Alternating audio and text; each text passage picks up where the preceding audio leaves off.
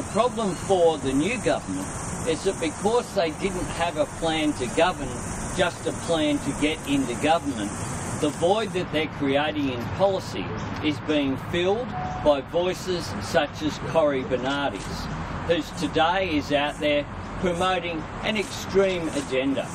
It's an agenda that says that he's pro-family, but only the sort of family that he regards as being legitimate.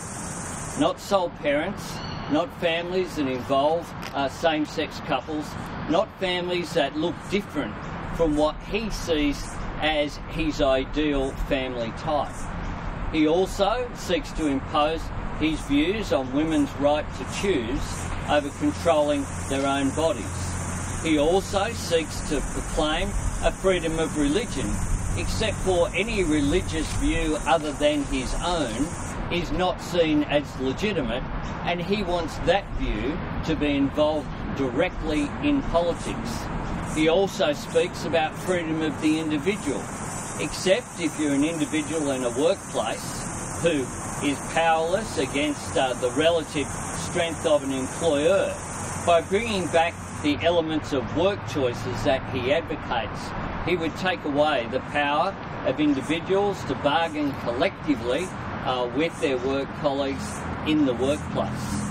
So this is a very narrow agenda being filled by Cory Bernardi. And this is someone who has been a close confidant of the now Prime Minister Tony Abbott, was indeed the Parliamentary Secretary and one of the key advisors uh, to Tony Abbott up until uh, late last year. So it's up to members of the government from Tony Abbott down to dissociate themselves from these comments of Cory Bernardi. If they don't do that, then one can take the view that Cory Bernardi has been put out there to push this divisive agenda. What Australians need is political leadership but political leadership that unites the nation, not one which divides it.